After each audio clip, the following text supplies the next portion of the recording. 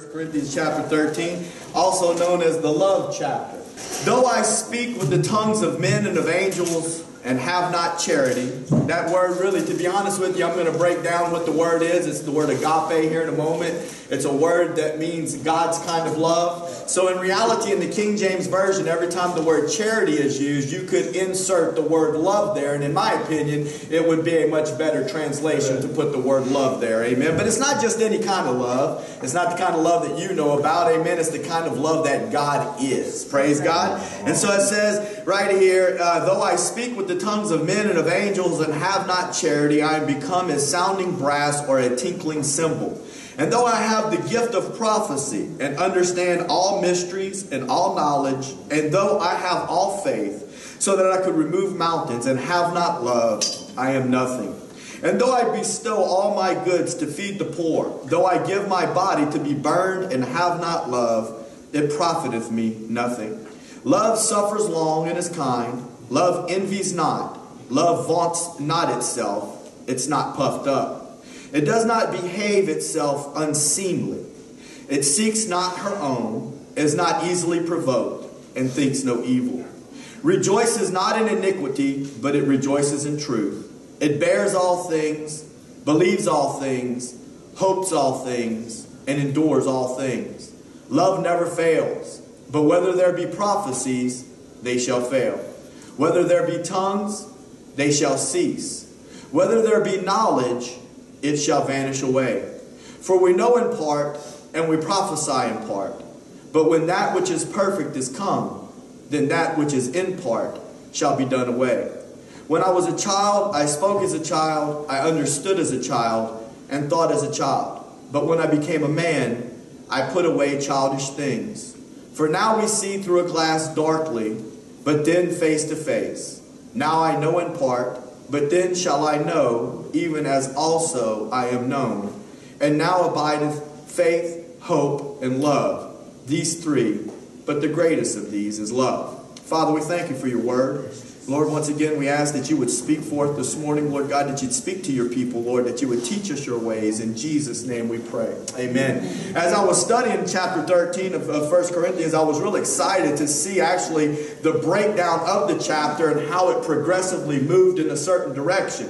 Uh, especially the last few verses when it begins to talk about uh, that, you know, temporary is going to give way to eternal, and that, you know, at some point in time we're looking in a reflection and it's different than looking face to face. And that at one point in time, I used to, when I was a child, I used to think as a child and I spoke as a child. But when I became a man, I put away childish things. And I was getting excited because I was wanting to really dig into how does that relate to all of the information on the front end that was talking about love and what love was and various things like that. And as I began to write the, the message, uh, God did it to me again. And, and we'll be talking about this chapter for at least two weeks. But I'm excited as we begin to break down the overall chapter to see how all these things hold together and begin to make connections on what Paul's really trying to tell us about love itself. Amen? Well, first, one of the things that I want to talk to you about is what this is how it's going to kind of break down over the next couple weeks, two to three weeks, is that in the love chapter, the first three verses talk about gifts without love. And that's mostly what we're going to focus on today. Gifts and works, but they don't have love connected to them. And then in, in probably next week, if, it's, if it strings out for three uh, different messages, we'll talk about what love looks like next week. And then the last one would be the fact that gifts are temporary, but love is eternal. Amen?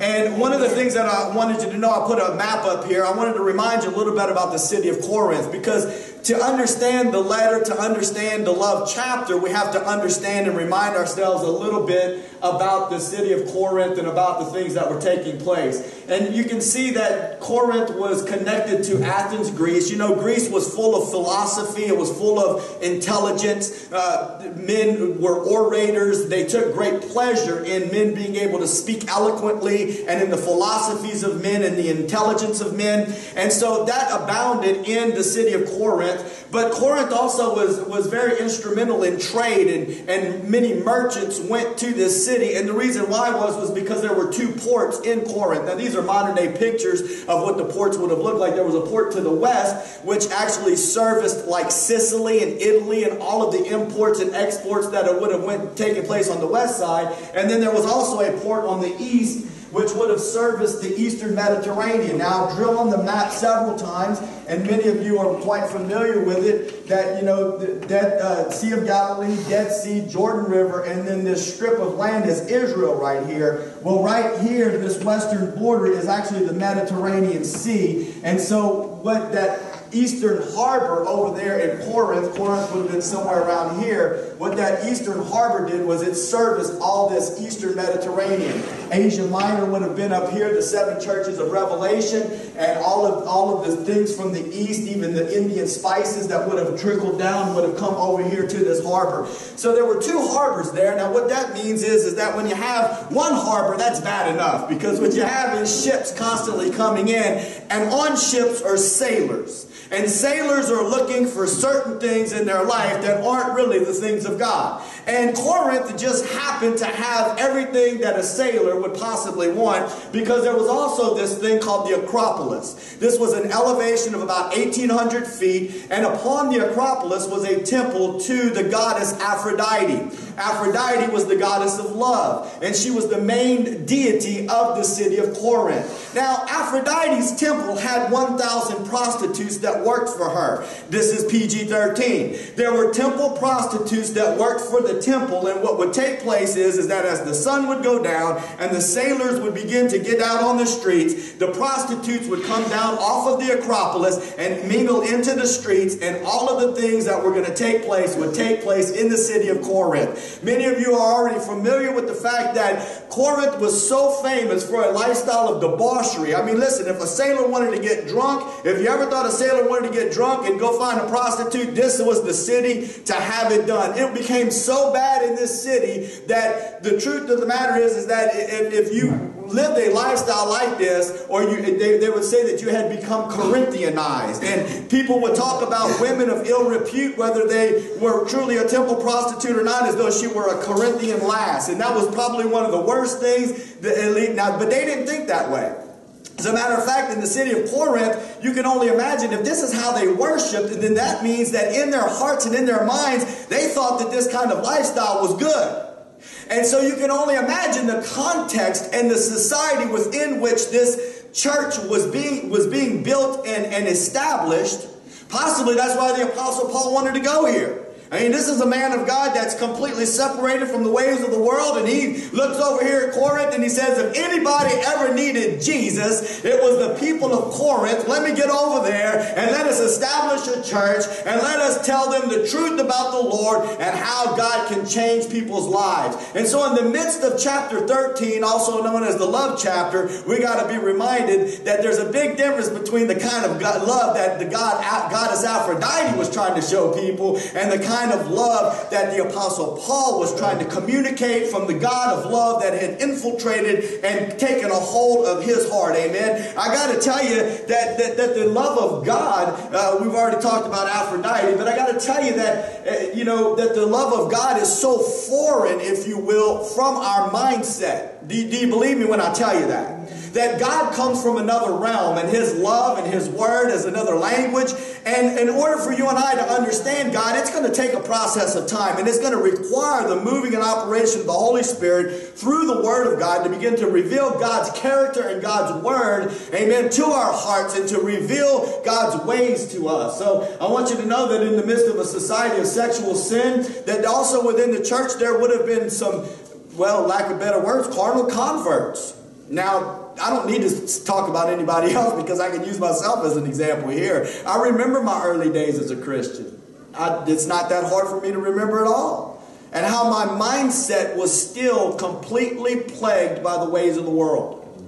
I've talked about this many times. I've taught about it ad nauseum, you know, and so for some of you that have been here, it might be tiring, but at the same time, I think it's definitely an important concept for us to understand. You know, for the longest time, the Lord, I, I lived a life of complete failure, even as a Christian. I wasn't doing all the things I used to do, but I would have little periods of victory and then I would fall back down again. But the whole time, my mindset was still wrong.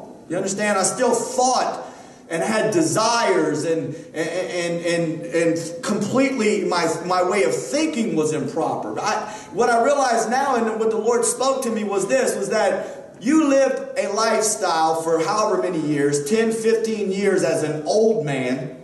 You gave your heart to me and you were converted. When you went up to that altar that night and gave your life to me, you there a conversion took place. There was a radical spiritual conversion that took place, but you didn't have a clue what it meant. You didn't have the first idea of what it meant to be born again, Matt. And, and now there's a process of time that has to take place where I have to reveal to you my love. I have to reveal to you what it is that took place that night when you went up to that altar. And this is a lifelong process. And if you'll hold on to me, I'm going to teach you my ways. Amen. And a transition is going to take place from the old man to the new man, where I will begin to even change the way that you think and the way that you perceive things. But what you need to understand is, is that you are a Corinthian, is what you were, son. You were a Corinthian and you had been enculturated by the ways of the world and the things that you thought were okay were not okay, and it skewed your understanding even of my word. What I need you to understand is that there were carnal converts in the church of Corinth. So much so that they had sexual sin going on in the church where one man was having an affair with his father's wife. Now this that'd be bad enough. You know, no sexual sin is good in the church. Can anybody say amen? Amen. amen. But this makes it worse. Not just that it was his father's wife, it makes it a little bit worse, but this is really what makes it bad. They weren't even brokenhearted over it. Like the people in the church of Corinth, they were puffed up about it. Like not all of them, I'm sure that there were some that were spiritually minded enough to know that it's not okay for sexual sin just to go on unchecked in the midst of the church. But some of them, the carnal converts, were puffed up about it. They were like, hey, did you hear what kind of stuff we got going on up in our church? Ain't nobody else's church around here got sin like this going on. And so they were puffed up about it. Paul rebuked them. He said, you got a man that's got having sex with his, with his father's wife and you're puffed up about it. You think it's a good thing. Now you got to understand, you got to try to back up a second and you got to try to think about the culture and the society in which these people have lived. And maybe you would say, well, I would never think that way, but fact of the matter is, is that the heart of man is deceitfully wicked. Who can know it? Nobody really knows what goes on inside that video tape of your mind and the things that go on in your heart and in your mind and the things that you think. We need the Lord to change our way of thinking, amen, and change our way of our way of our, of our heart, amen. I want you to know that overall, the letter of, of the Corinthians is a letter of correction. Let there be no doubt, because when we start talking about the gifts of the Spirit, which are part of our first message this morning, we need to understand that everything that we see about the gifts is not always being written in a positive light. And I'm going to try to expound upon that. And don't get me wrong, the gifts are good. Hallelujah. But the title of the message is the gifts are good, but God is love. Amen. So God uses the gifts, and we're going to break that down. And He uses the gifts for a specific purpose for the church. Amen. But, but gifts without love are meaningless, and they don't profit anything. And so the first thing that I want to establish also is, is this, is that God is love. Amen? Right. It says in 1 John 4, 16, and we have known and believed. the idea here in the first sentence, if you will, the first phrase, we have known and believed is, is that we've gained a revelation of it. John the Beloved is writing in his letter and he's saying, We have gained a revelation of this truth. And it has affected our lives in so much of a way that we continue to believe it and we're going to walk in it even to this point in our lives. And this is what we have known and believed the love that God has given unto us. We've gotten a revelation that God has poured his love into us. And when God poured his love into us, it changed things. You got to understand something. A radical conversion takes place whenever the love of God makes its residence inside the heart, amen, of the human life. A radical change takes place. It says the love of God has given unto us. This is the revelation. God is love. Hallelujah. God is love. Now look at this. And he that dwells in love dwells in God. The idea of dwelling is that you live in a specific sphere. Now, you know, I like to think of a sphere as a, as a round thing, and you know, a, a round. Uh, if you can say there was a movie a long time ago about the boy in the bubble. I don't know if you remember that, but he was so sick. I think John Travolta played in that movie as a kid. Is that right? It's an old movie. I think that was John Travolta's first little piece. And he had an immune disorder and he lived inside of a bubble, literally some type of a plastic bubble to prevent him from getting contact to germs. So if you can imagine some type of a bubble, a sphere, and in reality, that's what I'm wanting you to see here, is that he that dwelleth in love the idea is, is that you've been translated from the sphere of the world system into the sphere of Christ. You've been placed into a new environment, hallelujah. And in this environment, the love of God dwells. And if you're dwelling in that place, he that dwelleth in love is dwelling in God. Now, once again, we still don't even have a clue of what God's love looks like. But I hope that by the end of chapter 13 that we understand it just a little bit better. Because it doesn't look like anything about the corrupted type of love that you and I have come to know. Even at our best, and listen to me, sometimes we think that we understand what love is, but even at our best, it's so far removed from the love of God because once again, we've been enculturated by this world system. And so whenever we learn to dwell or to live in this sphere of love, and it's not just any kind of love, it's agape love, then we see that, hallelujah, we dwell in God and that God dwells in us. Amen? I want you to know that there's at least five different words in the Greek language for the word love. I didn't really talk about all five of them. I just picked these three off the top of my head. Two of them are in the Bible, one of them isn't. The first one is phileo love. It's where we get the word Philadelphia. That's why it's called the city of brotherly love. Phileo love talks about a love that one human can have towards another human being. Not necessarily romantic in nature, but in reality, you just love somebody. I mean, the fact of the matter is, is that I don't know if you've ever, you ever noticed how there's some people that you have a certain attraction towards. There's some people that you like their company. You like being around them. I don't know if you know what I'm talking about. Whereas there's other people that you really just don't really care to spend a whole lot of time with. One of the things that I've learned is, is that if I have an attra- if I have an attraction, or at least let's say this, I like to spend time with someone. They may do some things that really irritate me, but I'm I'm, I'm likely to kind of put up with them a little bit. Uh, whereas if it was somebody else, like I'm done, dude. You, like you lost me last week I'm not talking to you anymore. Okay, I was thinking about Scott, uh, Alexia, because of the fact that yesterday at the gym, I saw him up there and I was thinking as I was writing my message, I think Scott might have a little Phileo love for me because I saw it was him and he was on the he was on the Stairmaster and I walked up behind him when he went ready and I slapped him on the butt and I told him, I said, less cardio and more weight. Now, the crazy thing is, is that that's the second time I've done something to him like that. One time he wasn't looking and I bumped into him real hard like I was trying to start trouble with him. But it's like I was trying to get the dude riled up. And I was thinking, you know, Scott probably would play. I don't do that to everybody, but for some reason, Scott Bailey, I want to do that to him. And and you know, the fact of the matter is, is that I think that to some extent Scott might have a little Phileo love because he's willing to put up with that with me, but maybe somebody else he wouldn't. Nevertheless, you get the point that I'm trying to make. It's a brotherly type of love. Listen, this word was in the Greek language long before the New Testament was ever written. And when the New Testament was written, it took on new meaning. Well, what do you mean? Well, before the New Testament was written, we didn't have a revelation of what it meant to be part of the body of Christ. You, you, you understand what I'm getting at? Now, in Christ, there's a new level to brotherly love.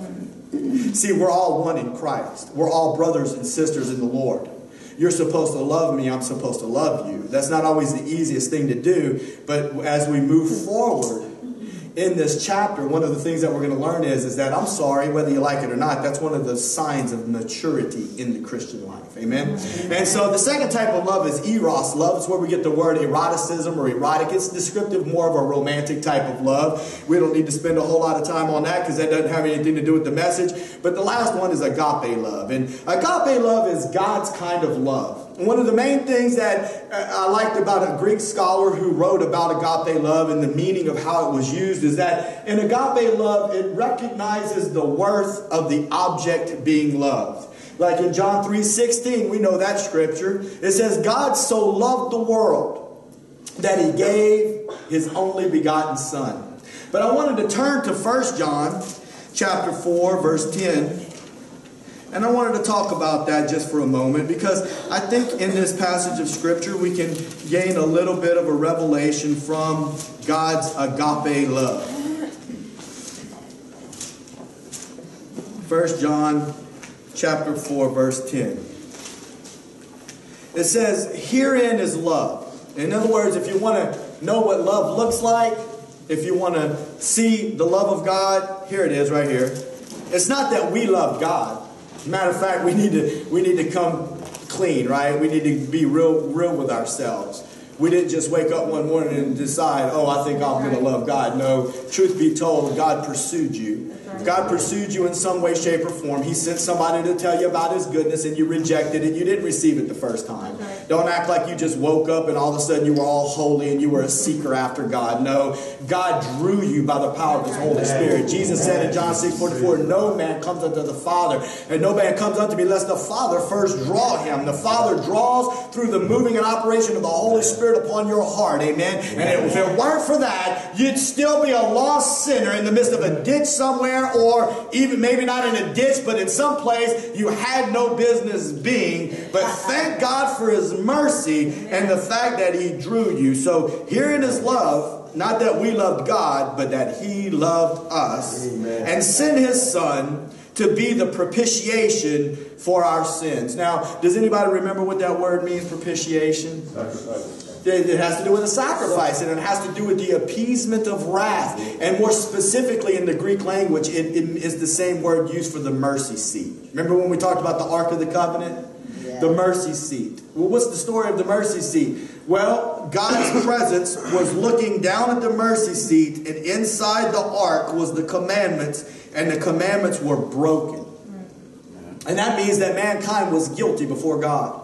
But once a year, blood was sprinkled on top of the mercy seat. And now God's presence is no longer looking at broken law, but instead it's looking at innocent blood. And what you and I need to understand is that Jesus was the propitiation. Jesus is the appeasement of the wrath. Jesus' is sacrifice and the blood that was placed upon the mercy seat, hallelujah, shows us the love of God because if it wouldn't have been for the shedding of the blood of the righteous one, God couldn't look at you and God couldn't love you. Amen. God bankrupted heaven and poured out his best for you. Hallelujah. And that's what it means whenever you see that Jesus is our propitiation. Amen.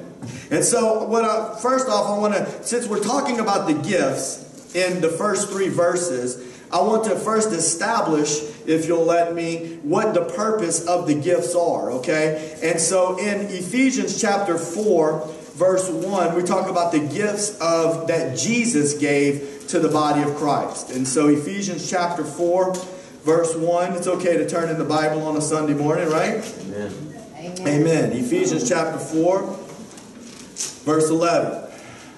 We need to buy some more Bibles, by the way, so that everybody can have a Bible if they need one. Ephesians 4, verse 11, verse through 14. It says, And he gave some apostles, he's talking about Jesus. Jesus gave. Jesus gave to the church. That's what it says if you back up a little bit. It says in verse 8, Wherefore he saith, When he ascended up on high, he led captivity captive and gave gifts unto men. Talking about Jesus. That's Ephesians 4 8. Then in verse 9, now that he ascended, what is it? But that he also descended first into the lower parts of the earth. We're not going to break that down. Verse 10 He that descended is the same also that ascended up far above all heavens, that he might fill all things. And He gave some apostles. This is the gifts that he gave to the body of Christ. Amen. He gave some apostles, some prophets, some evangelists, some pastors and teachers. Many people would tell you that those words pastors and teacher go together. The word pastor, it comes from the word pasture, and it's descriptive of sheep in a field and that they have to graze and eat. You can't be an overseer of a flock of sheep and not be able to teach people God's word. It doesn't work like that. Some people may not be called to teach. If they're not called to teach, they may be called to a ministry of evangelism. But nevertheless, that's not the point is is this verse 12, for the perfecting of the saints. This is why God gave the gifts that this is why Jesus gave gifts to the body of Christ for the perfecting of the saints. What does that mean? Bringing them to a place of completion bringing them to a place of maturity. God is concerned about his people being mature and walking properly with him. Amen? Amen? And then he goes on to say that for the work of the ministry, for the edifying of the body of Christ. I want you to think about that word edifying for a moment. Till we all come in the unity of the faith and of the knowledge of the Son of God unto a perfect man, unto the measure of the stature of the fullness of Christ that we henceforth be no more children tossed to and fro and carried about with every wind of doctrine. Now, I'm not gonna, I don't want to get in all this. I really don't. I've already preached it in the last month or so. You have to be careful who you allow to speak into your life. I'm, you don't have to come to this church. You don't have to. It, it, it's not, obviously, you, you're, you have a free will and you're able to go to any church that you desire to go to in this community. And you're allowed to pick up your remote control and to flip through any channel and watch any preacher that you have any desire to watch. I'm just letting you know right now, and I'm warning you, that there are wolves out there, and I'm letting you know this right now, that the, that the church is full of false doctrine. And people are teaching things that sound good to the itchy ear, but the reality reality of it is, is that it is not truly the word of the living God. And if you allow yourself to be placed under that type of teaching, your growth as a Christian, your maturity as a Christian is going to be stagnated and you're going to end up like a ship on open waters that are being tossed to and fro by, by waves that are sending you in all various directions. Jesus gave gifts to the body, hallelujah, and he's desiring for those men that he gave to, to give their life for the gospel gospel of Jesus Christ to teach his people, hallelujah, the truth of the gospel so that they wouldn't be tossed to and fro. He's edifying. He wants to edify. It needs to be built up, but, but hold on to that for a second. So that's Ephesians. Now let's take a look at 1 Corinthians uh, 14. We're talking about the gifts this morning.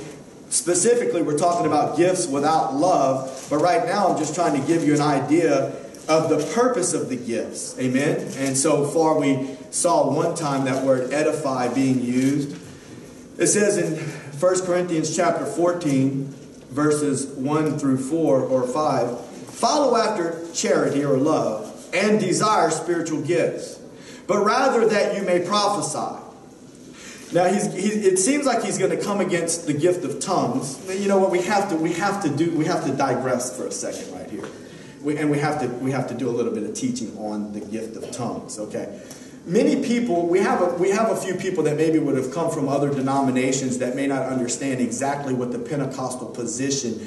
I'm, ta- I don't, I'm not talking about what people that have taught you would have said. I'm talking about what the position is from the scripture on what the people believe that believe in Pentecost. Okay. The official position from the scriptures is this, is that the initial filling of the baptism of the Holy Spirit on the day of Pentecost, whenever the disciples were waiting in the upper room and tongues like cloven fire fell upon their heads and they were filled with the Holy Ghost and they began to speak with other tongues, was the initial infilling of the baptism of the Holy Spirit for the disciples. Now, what you have to understand is, is that in my personal opinion, they were filled with the Holy Spirit at salvation before that when Jesus was already ascended and blew on them and said, Receive ye the Holy Ghost. That at that point in time, they had already believed in the Christ. See, their salvation was different than yours or mine because they believed in Jesus before he went to the cross. Now, whenever you and I believe in Jesus, he's already gone to the cross. And immediately, when you place your faith in Christ, the Holy Spirit comes to live on the inside of your home. I mean, on the inside of your heart. He makes your heart his home. So, immediately on salvation, don't let anybody lie to you Don't let some Pentecostal preacher say, especially if he's of the United Pentecostal persuasion, I'm just going to call it out like it is. They don't believe in the Trinity, and they're going to preach to you another Jesus. It ain't the same one. It can't be. He's the eternal Son, and, and there's three God the Father, God the Son, and God the Holy Spirit. But let, let me not get too far into this. All right, this is the thing. Whenever the Holy Spirit, when you believe in Christ, then, then the Holy Ghost comes to live in your heart. But we believe that there's an act of grace that takes place after salvation. How do I how do how can you preach such a thing, preacher? Well, Cornelius sent his servants. I preached a whole message on Cornelius. Peter was on the roof. I didn't plan on saying this, but I got to. Peter was on the roof. It was about noonday. He got a vision, right? The sheet lowered down, and in it was all manner of unclean beasts. The Lord said, Peter, rise, kill, and eat. Peter said, Not so, Lord, my, I have never tasted or eaten of anything unclean. What God was trying to reveal to Peter was it was time now for the Gentiles to come into the faith. It's no longer just a message for the Jew, it's now a message for the Gentile also. Next thing you know, knocking on his door or Cornelius' servants. Cornelius was a Gentile. Peter, because of the vision, gets up and he goes to Cornelius' house. Peter begins to preach the gospel to Cornelius. And lo and behold, in the midst of it all, these Gentiles start speaking in other tongues. Because the fact is, is that the power of the Holy Spirit, they got saved. I'm telling you what happened. They heard the gospel. They believed in their heart. At that moment, they were saved. But hallelujah, they also received the baptism of the Holy Spirit and they began to speak with other tongues. Now, what we would believe, according to what Corinthians is talking about, is that the first time that you get baptized with the Holy Spirit, you get filled with the Holy Ghost, and you will, the physical evidence that you've gotten filled with the Holy Ghost is that you will speak with other tongues. You want to get baptized with the Holy Spirit, by the way. I'm just telling you, right now in the name of Jesus, you need to start praying and asking the Lord, Lord, fill me up with the Holy Ghost. Lord, show me the Word of God. If it's real, Lord, if this whole that you say in your Word is real, fill me up with your Holy Spirit. Hallelujah. That I might, not just that I might speak with other tongues. No. Jesus said, tarry for me in Jerusalem, that you might be endued with power from on high. Hallelujah and you might be a witness for me in Jerusalem, in Judea, in Samaria, and all the outermost parts of the world. The purpose of the baptism of the Holy Spirit is for power, for service, to do the work of the Lord. I don't know about you, but that's what God put me here for, to do the work of the Lord. And oh yeah, but I don't need that preacher because I don't stand behind the pulpit. Hold on a second.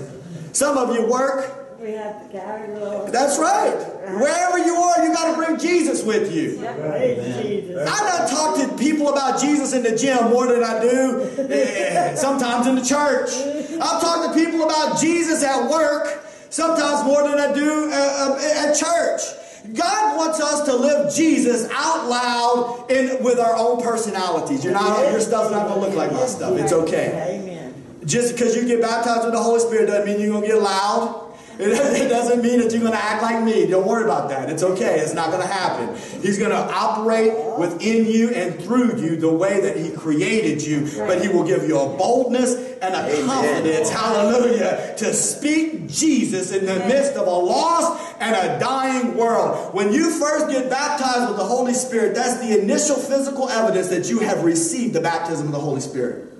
That's your prayer language now. Right. You can pray in your prayer language, and you can pray to the Lord in your natural language, Paul said, or you can pray in your heavenly language. You can sing in your natural language, or you can sing in your heavenly language. That's your prayer that you can offer up to God. The Word of God says that to pray in the Holy Ghost and that you that you build up your own faith. Hallelujah, when you do that. Sometimes you might be going through things and you don't know how to get through it. Hallelujah. You just start praying in, the, in tongues. You start start praying in the Holy Spirit, and the next thing you know, the Holy Spirit starts filling up on the inside of you, and He starts strengthening you, and He starts encouraging you. That's for you. But there's a gift of tongues that's different. Amen. If somebody ever walks up in here, sometimes we get some students from the Bible college that operate in the gift of tongues. It's different. One of them might be sitting over there, one of them might be sitting over there. All of a sudden, he'll start praying in tongues out loud. He gives a word. It's, it might be quiet, and he just gives a word in tongues. And then all of a sudden, somebody over here starts to give you an interpretation. And when the two of those gifts work in tandem, It provides a word for the church, Amen. and it provides edification for the church Right. because it's a word that's been given from God to the church. Amen. But what Paul's saying right here, I had to say all that to explain ver- chapter 14. It says, Follow after love and desire spiritual gifts, but rather that you may prophesy. For he that speaks in an unknown tongue speaks not unto men, but unto God. For no man understands him. Howbeit in the Spirit he speaks mysteries. But he that prophesies speaks unto men to edification and exhortation and comfort. He that speaks in an unknown tongue edifies himself, but he, but he that prophesieth edifieth the church. I would that you all spoke with tongues, but rather that you prophesied. For greater is he that prophesied than he that speaketh with tongues, except he interpret that the church may receive edifying. So he's not saying that tongues are bad. What he's saying is in a public arena like this, if somebody's going to operate in the gift of tongues and they're going to give a word in tongues, we need an interpreter in the house so that the body of Christ can be edified by the word of God. Amen? Now, one of the things that I wanted you to see so far, really, I didn't mean to get in all that, so I want to kind of draw us back to where we're still on the same page. I'm talking about gifts and I'm talking about the purpose of gifts. And so far, we've seen a common word in both of the passages of Scripture. The word is edify. Amen? Now, I want you to turn with me to 1 Corinthians chapter 8. It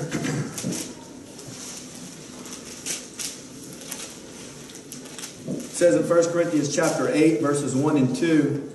Now, as touching things offered unto idols, we know that we all have knowledge. Now, let's not get caught up in the idol thing. We don't have time to break that down. He's talking about eating meats that were offered to idols. I will tell you, I went to a Greek restaurant one time, a Lebanese restaurant in Lafayette one time, and they had a weird name to this meat. And I just asked, I mean, Paul said don't ask, but I, I asked. I said, what does this mean right here? What y'all doing with this meat? Oh, well, we, we say a little prayer over it. I'm like, what, what you mean you say a prayer over it? Oh, yeah, we say a little prayer to Allah over the meat. I said, all right, well, let's move on to the next thing on the menu here. Uh, because you see, what, he, what was going on was is that they would offer up meats to idols and then they would partake of it. And it says that, and listen, I've already told y'all the story about the girl who, whenever I was trying to talk to her about Jesus and she didn't look like she was interested, I said, so what persuasion of religion are you? She said, I'm pagan. I said, well, what do y'all do? How do you worship the Lord, Miss Pagan? And I, and I didn't call her Miss Pagan. I said, but how do you worship the Lord? She said, well, we go to the woods and we cook a goat. Now, later on, she admitted to me she was trying to be cool and that she didn't eat the goat. Because what they said and they believed was they transferred demon spirits onto the goat. They cook the goat, then they eat the goat, and they bring demon spirits into themselves. We're going to talk tonight about that actually in occult exposure. What the purpose of them inviting demon spirits into themselves. We're opening up, we're, we're exposing the cult, by the way, on Sunday nights. We're talking about the Illuminati and the connection to the scriptures. Tonight's going to be, I believe, real interesting whenever we get into the fallen angels and daughters of men and various things like that. But let, let's stay focused. All right. What we're focused on right here is about the knowledge. And what it says is this we know that we all have knowledge. Knowledge puffs up, but charity or love edifies. Amen. And so, what I wanted you to see with all of that was that there was a common word that was ringing true through all of these passages of Scripture, and the word was edification or edifies. The word edification means to be built up or to be established. God is building a church. God is building a body. Amen. And the and the building is only as good as the individual parts. I can remember a preacher one time saying, Hey, do me a favor. If you got a stinking rotten attitude, quit telling people what church you go to. If you don't know how to act right when you're driving down the road and you don't know how to act right when you're talking to people, rip that bumper sticker off the back of your car and quit hurting, hallelujah, the things that we're trying to do as far as God being love on the inside of our lives. God is wanting to edify. He's wanting to build up. He's wanting to bring his people to a place of maturity. And if we're supposed to be representing the body of Christ and our attitude is so stinking rotten that we don't know how to love nobody and we don't know how to treat nobody and we don't know how to act in public, please back up a little bit, take a little silence break, and just let the Lord work on you for a while. Amen. And then come back in strong. Come back into the game ready now. I looked at the playbook a little bit. I'm ready, coach. I'm ready to get back in the game. Put me back in there. Amen. Maybe I need to preach to myself, right? Amen. That's good. Yeah. Preach to yourself, preacher. All right. The Holy Spirit knows how to get a hold of my heart, man. When I don't act right, the Holy Spirit break my heart. Praise God. All right. So we're talking about edifying in love. Amen. Edification, to build and to establish. This is point number one of this particular message going out of 1 Corinthians chapter 13, verses 1 and 3 through 3. Let's go ahead and read those one more time. Though I speak with the tongues of men and of angels and have not charity, I am become as sounding brass or a tinkling cymbal. And though I have the gift of prophecy and understand all mysteries and all knowledge, and though I have all faith, so that I could remove mountains and have not charity, I am nothing. And though I bestow all my goods to feed the poor, and though I give my body to be burned and have not charity, it profits me nothing. So in this first verse, he says, he's talking about, though I speak with the tongues of men and of angels and have not charity, I'm become as sounding brass or a tinkling cymbal. You know, as far as tongues go, there's people that believe various things on where these languages come from. Like in other words, I can remember telling I could go get a book out of my office of a guy of a book written by a PhD from Harvard named Stanley Horton, but he was probably the greatest Pentecostal scholar that we've had in the last hundred years. When I saw him speak, he was like 95. I, I would feel like he's probably dead by now. But one of the things that he talked about was that there were at one that currently in the world there were 11,000 human dialects known to man and that there were several thousand that were already had been lost. And some people's persuasion is that whenever a person speaks in another tongue that they are definitely speaking in a human language somewhere on the earth that have either existed in times past or exists now i'm of the persuasion that i personally feel like and you know what it's okay you don't have to agree with me i'm not asking i'm not trying to convince you of anything you study to show yourself approved and decide what you believe. I believe that, you know what, maybe there's something to do with this language of angels too. I don't know. All I know is this, is that you know it when you get baptized with the Holy Spirit and that there's a language that was not of you that is in you and has to come out of you. And you know whenever you begin to speak in other tongues. Now, what I will tell you is this, is that it doesn't really matter how much you speak in other tongues. If you don't have love, if you don't have the agape of God moving and operating in you, the next thing you know, you start thinking you're better than the person on the side of you that doesn't speak in other tongues. I've seen people show up, look, and I'm telling you right now, I can feel it in my spirit. There is no spirit of love in this. They think that the answer to everything is that people just speak in tongues. Oh, the answer to everything that you're looking for is that, oh, you don't speak in tongues and they look down on you. You haven't been baptized in the Holy Ghost? Oh, well, that's your problem. You can't speak in other tongues. And it's almost like they're up here and you're down here. Sorry, sir, you got a wrong spirit about you. That's not a spirit of love. That's a spirit of pride and arrogance and self-righteousness. And it needs to go. The fact of the matter is, is that God is love. Amen. And you can sit here and you can say you operate in this gift and you can say you operate in the gift of prophecy. And I want you to know something that the enemy of our soul, and that's what was going on in Corinth. They had all of these gifts going on. And the fact of the matter is, is that they were prideful about their gifts and they were puffed up. As a matter of fact, let me go ahead and prove some things to you. Point number one, don't let the gifts take precedence over the gospel. Whenever you go to uh, 1 Corinthians chapter 1, verse 5, let's look at a little bit of what was going on in, this, in the church of Corinth. So you got to understand, once again, this is a letter written by the Apostle Paul and sent to the church of Corinth. And this is what he's saying in the letter. It's a letter of correction. He acknowledges in verse 5 of chapter 1, he says, that in everything you are enriched by him in all utterance and in all knowledge. Now, utterance and knowledge describes two types of gifts. Some gifts, tongues, interpretation of tongues, and prophecy, are utterance gifts. They're things that are spoken out of the mouth. Some gifts are knowledge gifts, a word of knowledge, a word given by God of knowledge having to do with His word or His gospel. We'll break that down in a second. Or His kingdom. A word of wisdom, God gives you a word on the inside. Sometimes you may share that word with somebody, but it's not necessarily an utterance gift. It's a knowledge gift that's given by God to man. There's other gifts. There's a gift of faith. But what he's saying is, is that in everything you are enriched. Hey, Corinth, your church is full. You are enriched with both utterance and knowledge gifts. We take note of that and just want you to know, yes, we see it. All right? And it says, even as the testimony of Christ, verse 6, was confirmed in you, so that you become behind in no gift. There's churches that are spreading all across Asia Minor. There's churches in Jerusalem. But as far as you, Corinth, you become come behind nobody in the way that your gifts are being operated. I just want you to know that.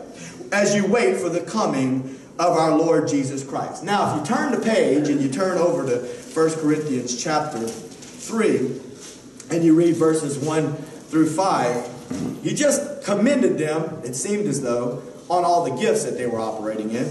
Then he says in chapter 3, And I, brethren, could not speak unto you as though you were spiritual, but as unto carnal, even as unto babes in Christ. So you're operating in all these gifts, but now let's turn the page a little bit. Let's get down to the, to the problem that we're having in Corinth. You're not spiritual at all. Instead, you're carnal and you're babes. I can't even feed you meat. He says, I have fed you with milk and not with meat, for hitherto you were not able to bear it, neither yet are you now. So all of these gifts that you're operating in, they aren't really doing you any good because you're not maturing in the things of God. I wanted to feed you some meat to teach you the things of God, but instead I got to put a bottle in your mouth and I got to let you be a milk sipper, is what he's saying. Because you can't understand or handle the deeper things of God.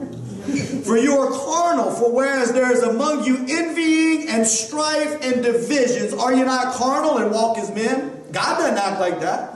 God's not calling you full of envy and jealousy and walking around and causing divisions and full of strife. That's not how he operates. For while one saith, I am of Paul, and another, I am of Apollos, are you not yet carnal? Who then is Paul and who is Apollos, but ministers by whom you believe, even as the Lord gave to every man? See, this is the occasion of their carnality. If you go back to 1 Corinthians chapter 1, verse 10, Paul says this, I beseech you, brethren, by the name of our Lord Jesus Christ, that you all speak the same thing. You can have all these tongues going on all over the place, but what Paul's saying is, I just wish you'd speak the same thing. He goes on to say, You're divided. Some of you are about Apollo. Some of you are about Cephas, another name for Peter. Some of you are about Paul. In other words, I like the way that one preaches a little bit better. Get your eyes off the preacher. Get your eyes off the style of the preacher. Quit worrying about how the preacher preaches and start worrying about what the preacher's preaching. Don't let the gifts take precedence over the gospel. And then he goes on to say next, and he, he says, I wish you'd all speak the same thing. And then in 1 Corinthians 1.18, this is what he says. For the preaching of the cross is to them that perish foolishness, yes. but unto us which are saved, it is the power of God. Preach the power of God, preacher. Hold on to the power of God, Corinth. Then he goes on to say this in 1 Corinthians 2 2, starting in verse 1. I, brethren, when I came to you, came not with excellency of speech or of wisdom declaring unto you the testimony of God. For I determined not to know anything among you save Jesus Christ and Him crucified. I hope we don't lose our power before I finish preaching, but we might. I wanted to read to you an excerpt out of this book. It's called Anointed to Serve. If you get to, if you ever went to an Assembly of God school, I'm not saying that you would, but if you did, this is required reading. All right? And because it documents the movement of Pentecost. Gabriel Swigert whenever he preached on Pentecost at IYC, told the story that took place basically whenever there was a one-eyed black man from Centerville, Louisiana, who went to Houston, Texas, and from Houston went to Los Angeles, heard the baptism of the Holy Spirit spoken of in Houston, brought it to Los Angeles, began to preach it, didn't even have the infilling of the Holy Ghost yet, and all of a sudden a revival took place called the Azusa Street Revival. I feel the Holy Spirit all over me right now. A revival took place that spread all over the world, and what happened was people began to be filled with the Holy Ghost and to speak with other tongues. But what, one of the problems that started to happen was they started elevating the gifts above the gospel. And one of these men showed up over there. His name was Frank Bartleman. And he showed up over there and he had the pulpit one time, and this is what he said. He said, By the exaltation of the Holy Ghost and of the gifts of the Spirit, there seemed to be great danger of losing sight of the fact that Jesus was all and in all. I endeavored to keep him as the central theme and figure before the people. Jesus should be the center of our preaching. All comes through and in him. The Holy Ghost is given to show the things of Christ. The work of Calvary, the atonement, must be the center for our consideration. The Holy Ghost never draws our attention from Christ to himself, but rather reveals Christ in a fuller way. Amen. He went on to say, I was led to suddenly present Jesus one night to the congregation.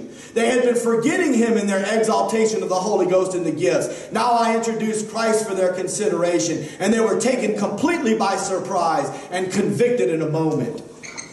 He said, Many are willing to seek power from every battery they can lay their hands on in order to perform miracles and to draw the attention and adoration of the people to themselves, thus robbing. That's what's going on in churches across America. That's what's going on in people flocking to these revivals. Oh, let me get to the front. You lay your hands and I'll flop around on the ground, and we're going to see some man raised from the dead. Why does he need to be raised from the dead if he already knew Jesus? He's already in glory with the Lord. Amen. If he didn't know the Lord, good raise him from the dead and give him Jesus and then let him die again so that he might go home to be with the Lord if that's God's will. Amen. But that's what everybody wants to see. They want to see power come from a man of God. Show me a miracle, Jesus said. A wicked and adulterous generation after a sign. The only sign you will see is the sign of the prophet Jonah in the belly of the fish for three days and three nights. He's talking about his death, his burial, and his resurrection from the dead. How are you going to move on to miracles when you can't even get the gospel right? You can't let Jesus be the forefront of your preaching. Frank Bartleman had concern that in the midst of Pentecost, we end up with a gospel that's all Holy Ghost and no word, no Jesus, and at least a fanaticism. That's right. He said a true Pentecost will produce a mighty conviction for sin, a turning to God. False manifestations produce only excitement and wonder. And he said this at the end. Any work that exalts the Holy Ghost or the gifts above Jesus will finally land up in fanaticism. Whatever causes us to exalt and love Jesus is well and safe. The reverse will ruin all. The Holy Ghost is a great light, but focused on Jesus right. always Always. For his revealing. Amen. Hallelujah. Thank God for men like Frank Bartleman. Amen. Amen. Point number two it's good to know the deeper things of God, but if you know God, you should also know love. Amen. That's what it says in 1 Corinthians 13, verse 2. See, you can have all the gifts, but if you got gifts without love, you don't really have anything. You become a tinkling cymbal or like a brass gong. It'll get your attention right away. Bam! And then all of a sudden, you just keep hearing the same sound over and over again. And after a while, whenever people realize that you're not operating in the love of the Lord, oh yeah, there's that tongue talker over there. Whatever, dude. Go get in the line with all the other Christians that are crazy because you ain't got nothing that I want to hear because I can tell you ain't got no love on the inside of you. You so full of yourself. You so selfish. You don't care about nobody. Amen. Come on. Come on. Help us, Lord. Help us, Lord. Praise God. In verse 2 it says, And though I have the gift of prophecy and understand all mysteries and all knowledge, and though I have all faith so that I could remove mountains and have not love, I am nothing. You know, the Lord said in, in one scripture, it talked about, uh, well, we already talked about 1 Corinthians 8, 1 and 2. That's the one that says that knowledge puffs up, but love edifies. And we're talking about knowledge again. First, you know, the, the, the faith, Jesus said that if you have faith, then you can speak to this mountain and be removed and cast into the sea. I want to talk a little bit about knowledge, though, the gift of knowledge. The gift of knowledge, it talks about, some people have described it as the shining of God's light into the minds of men. It's when you're allowed by God to see what you couldn't see with the unaided intellect. In other words, it doesn't matter how smart you may think you are. Some people in this room know this to be true. I've had conversations with people that have degrees in physics. I've had conversations with people uh, that, on, on outside of this place with, with heart specialists. I've had d- discussions with other men of great intellect, but the fact of the matter is, is that they are operating with unaided intellect when it comes to the Word of God. But every now and then you'll see God will pour His gift into a person, hallelujah, and He'll allow them to begin to see some things. All of a sudden you can start connecting connecting dots. God starts speaking things to you, giving you a gift of knowledge to be able to see past the surface that's on the scripture. Right, yes. I was having a conversation with somebody the other day. We were talking about that kind of thing. You know, it's like if you just read what's right here in the passage of scripture, then you really it doesn't say, it doesn't seem like it's really saying everything that you would think that, that, that you could pull out of it. That's a good observation, and it's true. And, and one of the things that the Lord brought to my heart was out of Matthew chapter 13. I like the gift of knowledge, so that's why I'm going to talk about it a little bit. Matthew chapter 13. This is after Jesus taught this to the multitudes the parable of the sower. Remember that? He said some seed fell along the wayside, some seed fell along stony ground, some seed fell amongst the thorns, and some seed fell amongst good soil. And then he took his disciples back up into the mountain and they asked him in verse 10 of chapter 13, Why do you speak to them in parables? He answered and said unto them, Because it is given unto you. Who? The disciples. Are you a disciple? Yes. The word disciple means a learner of Christ. Praise God wants you to understand the deeper things of God. Yes. You might need to go visit around and see if you find a preacher that wants to help you get there. You can flip through the channels and see if you want to. But I, what I fear to tell you is that the majority of the preaching that's going on out there. As a matter of fact, there was one person that shared with me that there's a preacher in town where they said, "Hey, I just wish that you'd let us help us to go a little bit deeper." He said, "I know a lot of information, but I can only give you this much of what I know because you can't handle it." Excuse me, sir. Who are you? You're the one that's gonna. You're the gateway to this woman's understanding of the Scripture. No, it's not your job to decide what the children of God learn and what they don't learn. No. Anyway, Right. Jesus, but it's going to be the Holy Spirit that unlocks your mind Amen. Right. and allows you to see. Yeah. It's going to be a gift of knowledge that He gives you. It says, He answered and said unto them, Because it is given unto you to know the mysteries of the kingdom of heaven, but to them it is not given. I asked the preacher one time to explain a verse to me. He said, "It's not the Bible's not for you to understand." Okay. I'm glad you left that church. Lord help us. For whosoever has to him, so for whosoever has to him shall be given, and he shall have more abundance. But whosoever has not from him shall be taken away, even what he has.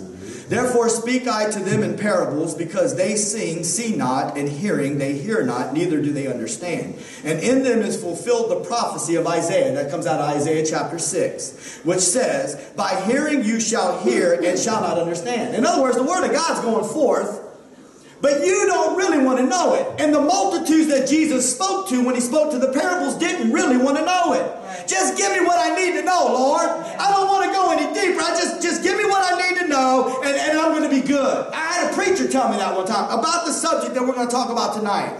About the sons of God and the daughters of men. Well, the scripture doesn't say too much. Oh, contrary, sir. And we're going to break it down tonight. Contrary, sir. You just got to do a little bit more digging. You got to do a little bit more page flipping, and you're going to prove and you're going to find out. You just didn't want to be one of the ones that really wanted to know because you had an agenda and you wanted to preach the gospel the way you thought you were supposed to preach the gospel according to a seeker sensitive church growth movement, and the people weren't ready for that because it didn't help them in their relationships right now.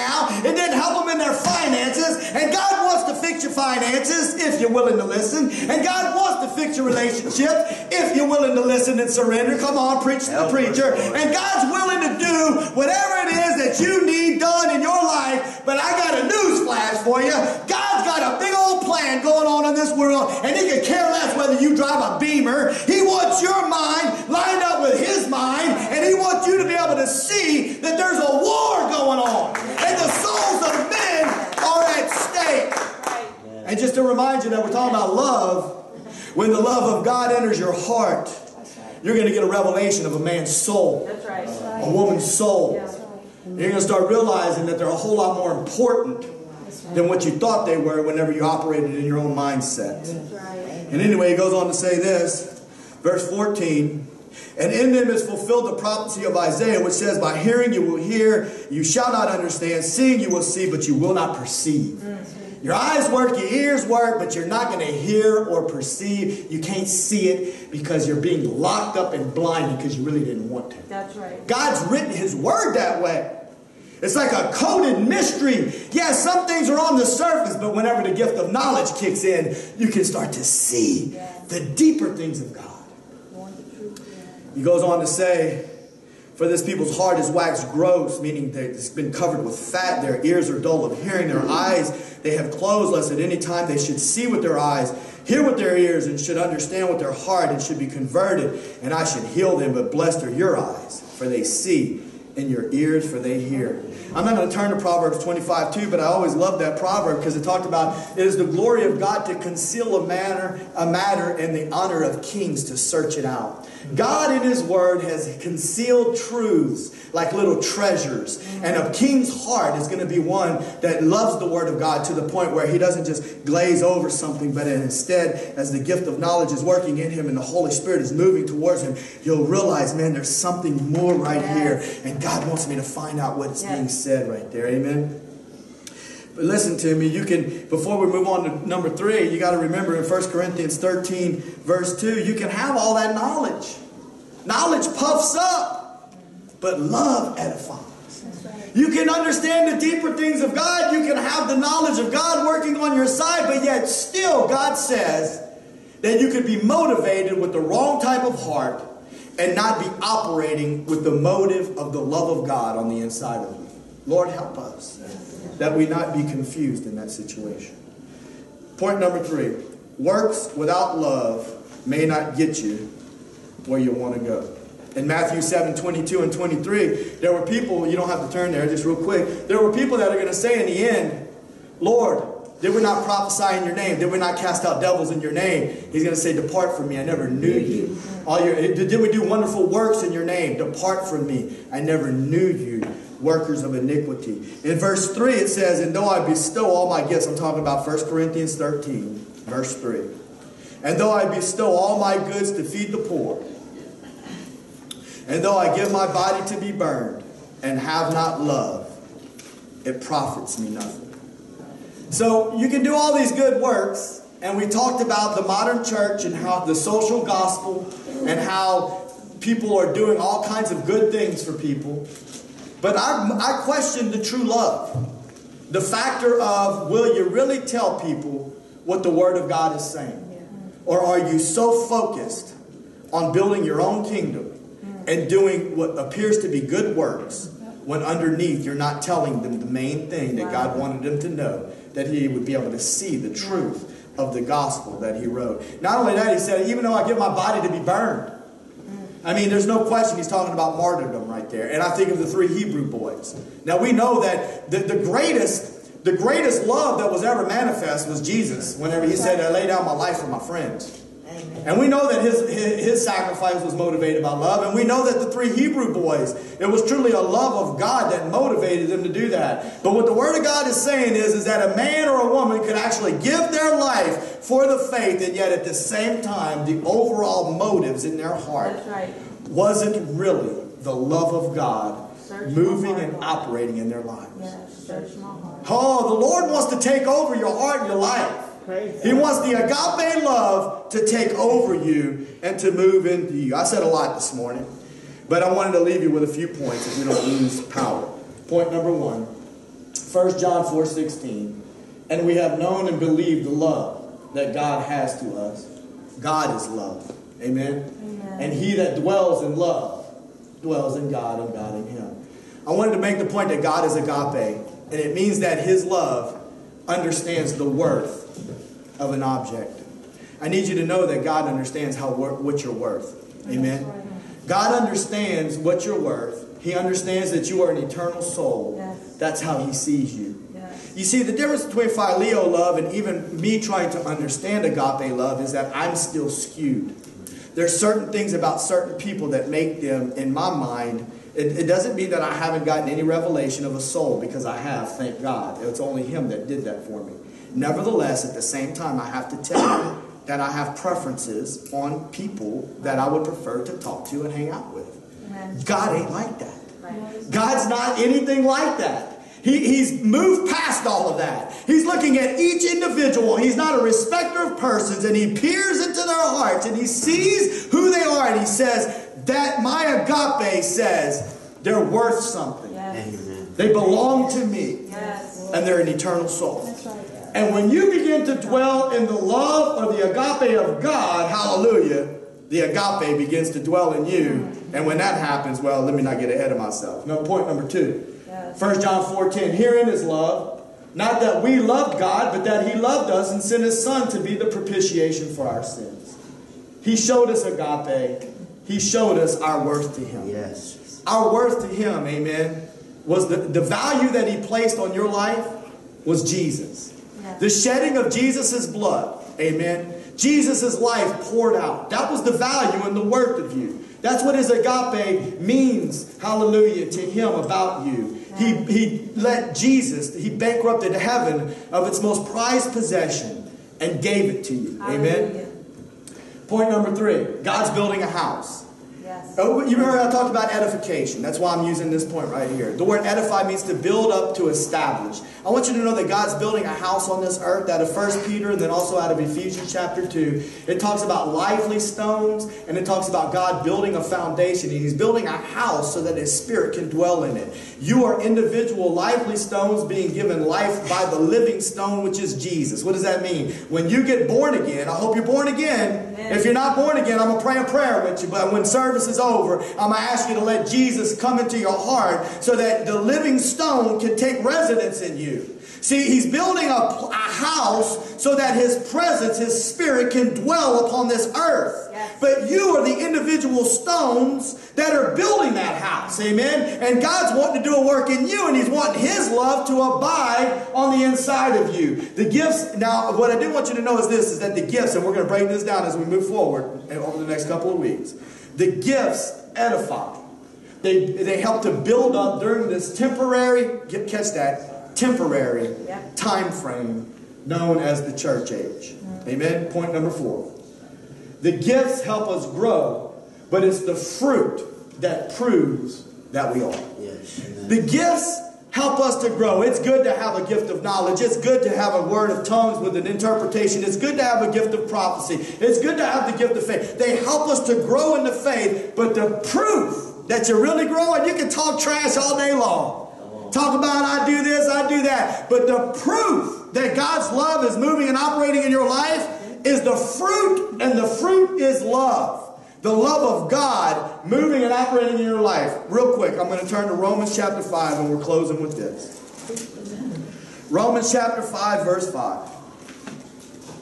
Now, this passage of scripture is talking about after you've been through a trial and you've endured the trial, and through it, God's done a work in your heart. And He's proven something to you that you didn't know before, and He's caused hope to come back alive on the inside of you. Hope, it says, makes not ashamed, because the love of God is shed abroad in our hearts by the Holy Ghost, which is given unto us. The love of God, the agape of God, is shed abroad in your hearts. That word abroad means to spill into, to overflow. And one thing that I know is, is that when you fill up a cup and it starts overflowing, it gets on other things. Mm-hmm. And whenever the agape of God through the Holy Spirit starts to show up on the inside of you and it can begin to spill out of you, that's whenever you know that the Holy Spirit is moving and operating through you in the lives of other people. When the love of God spills over and out of you into other people's lives. And then we're going to close with this. This is what Jesus said in John chapter 13. I tried to look for this story that I heard about before that at the end of John's life, they call him the, they call him the disciple of love. They call him John the beloved. They say at the very end of his life he could barely walk. He died of old age, is what the story says, like, oh, maybe even 100 years old. And that they would bring him under a tree and that they would prop him up under the tree. And in this weak little voice, he would speak to the people that would be surrounding him. And with tears streaming down his eyes, he would say, Love. The Master said to love. He was the last person on earth that had literally, that we know of, seen Jesus. Not just seen him, but walked with him, listened to him preach, saw him with his eyes. And the last things that he could ever say was towards the end, he didn't have enough strength in his body to say anything else other than to love. Because that's what the Master told us to do, is love. And this is one of those scriptures in John chapter 13, verses 34 and 35. Jesus said, A new commandment I give unto you, that you love one another, as I have loved you, that you also love one another. By this shall all men know that you are my disciples, if you have love one to another.